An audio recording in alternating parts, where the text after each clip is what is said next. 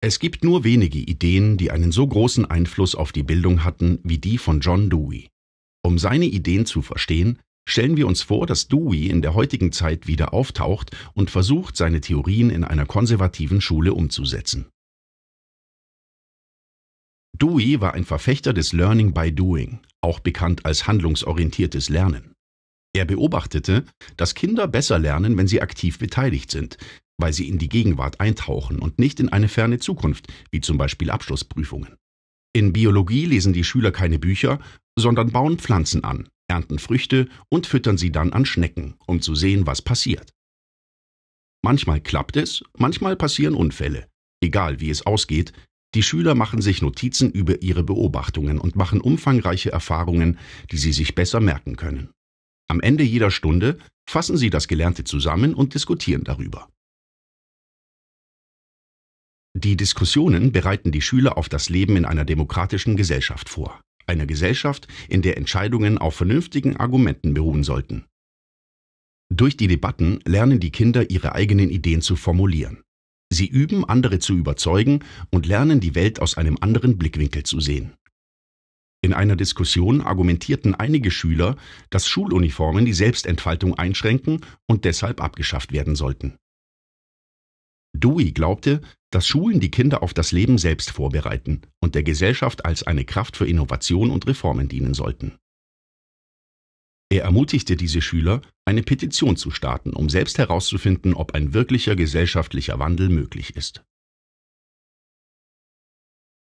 Unterricht ist interaktiv, weil Dewey glaubt, dass die Interaktion mit der Umwelt für den Lernprozess essentiell ist. Denn Bildung ist eine Erfahrung, die einem ständigen Wandel unterliegt. Passive Wissensempfänger hingegen lernen sehr wenig, wenn überhaupt etwas. Die Gruppe, die die Petition gestartet hat, stellt dem Lehrer ihre Ideen vor und beginnt einen Dialog. Dadurch erweitert sich ihr Verständnis und ihr Lernen wird untermauert. Das Lernen ist interdisziplinär. Dewey glaubt, dass Kontinuität entscheidend für das Verständnis ist und dass ein fächerübergreifender Unterricht den Schülern erlaubt, auf dem aufzubauen, was sie bereits wissen, was ihr Verständnis vertieft.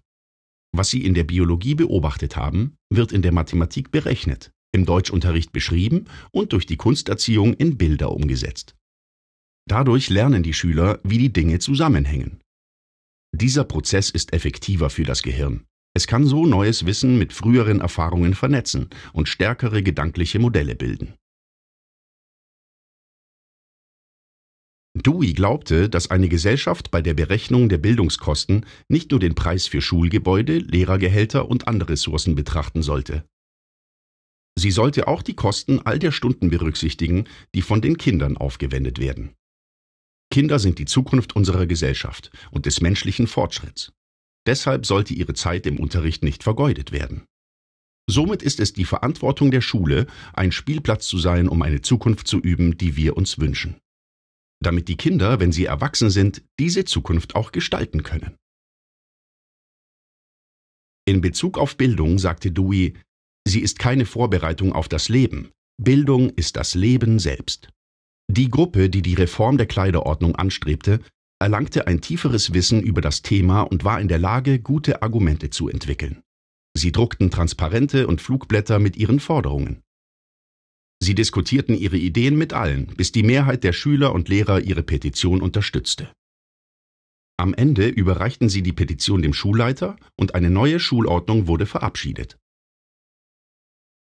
Deweys Ideen waren zu seiner Zeit nicht immer populär. Und obwohl wir in den letzten Jahrhunderten einige Fortschritte im Bereich Bildung gemacht haben, ist die Situation heute wirklich besser?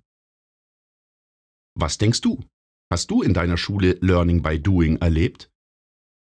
Und ermutigt deine Schule dich und deine Freunde dazu, sich für soziale Reformen zu engagieren und die Zukunft zu gestalten, die wir uns wünschen?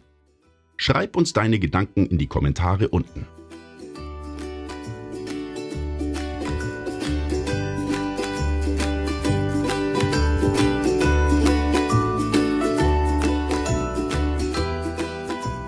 Sprouts-Videos werden unter der Creative Commons Lizenz veröffentlicht. Das bedeutet, dass unsere Videos kostenlos sind und jeder sie für den persönlichen Gebrauch herunterladen, bearbeiten und abspielen kann. Öffentliche Schulen, Regierungen und gemeinnützige Organisationen können sie auch für Schulungen, Online-Kurse oder die Gestaltung neuer Lehrpläne verwenden. Du kannst uns helfen, weiterhin unabhängig zu bleiben und dabei unsere Arbeit unterstützen, indem du dich den anderen Förderern anschließt und einen Beitrag beisteuerst. Besuche einfach patreon.com/sprouts.